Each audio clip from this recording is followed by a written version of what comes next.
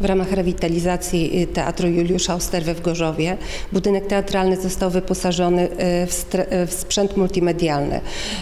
Ten sprzęt dzieli się na trzy strefy. Strefa współczesność, strefa klasyka i strefa młodego widza i aktora.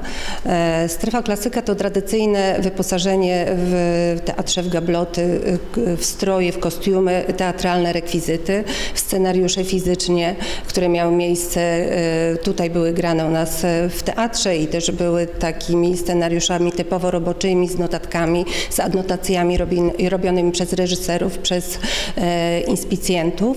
Natomiast strefa współczesność to multimedialny Juliusz Osterwa, który na dzień dobry wita naszych widzów e, w holu wejściowym, opowiada krótką historię o naszym teatrze, a później możemy spotkać takie stanowiska multimedialne jak Zagraj ze mną, czyli stanowisko, gdzie aktor zachęca zachęca widza do odtworzenia różnych emocji i tutaj mamy wybór e, iluś tam emocji na różnych poziomach. E, wtedy przekazuje swoje emocje aktor i e, osoba, która ogląda, bawi się z nami, odtwarza te emocje i zostają one nagrane.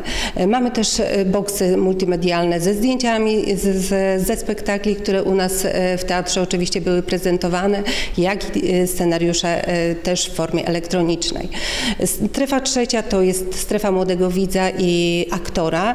I tutaj mamy taki multitouch e, ekran, e, którym prezentujemy trzy strefy jakby e, możliwe zabawy razem z widzem. I to są memory, karty pamięci, gra zabawa zapamiętaj.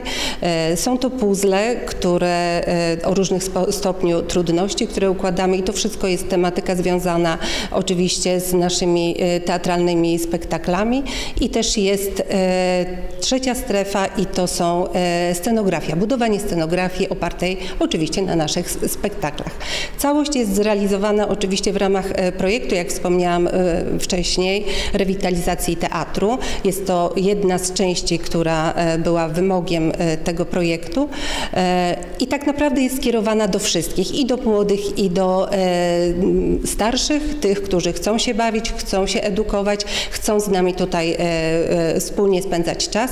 Oferta jest otwarta, jesteśmy e, otwarci bez względu na to, czy jest to grupa zorganizowana, czy, czy indywidualni odbiorcy. Wystarczy tylko zgłosić się do nas, wszystkie informacje są podane na naszej stronie, zapowiedzieć się, no i oczywiście przy prezentacji spektakli też te stanowiska są czynne i można z nich korzystać, można się bawić.